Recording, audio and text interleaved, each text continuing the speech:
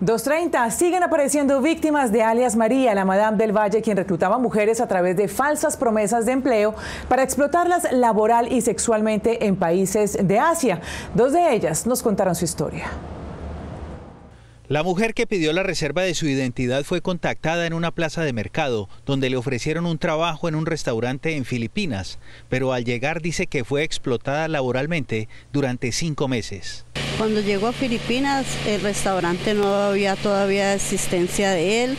Entré laboralmente a trabajar en la casa de ella, pero pues aparte de lo de la cocina me tocaba ejercer labores de hombre en una construcción que ella tenía, supuestamente para eh, sitios de alquiler de apartamentos de ella denuncia que alias María, conocida como la Madame del Valle, quien la contrató nunca le pagó su salario, porque según ella, la víctima tenía una deuda superior a los 12 millones de pesos.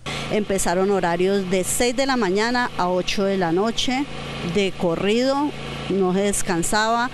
Tras ser rescatada por la Cancillería colombiana y regresar al Valle del Cauca, dice que no ha podido interponer la denuncia.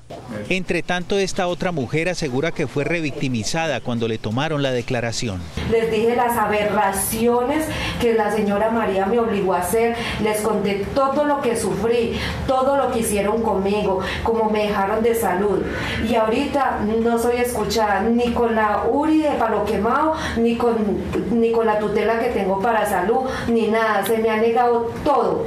Ninguna de las dos mujeres tiene protección del Estado y aseguran que temen por su seguridad y la de sus familias, ya que alias la Madame permanece prófuga de la justicia a pesar de que fue condenada a 30 años y 9 meses de prisión.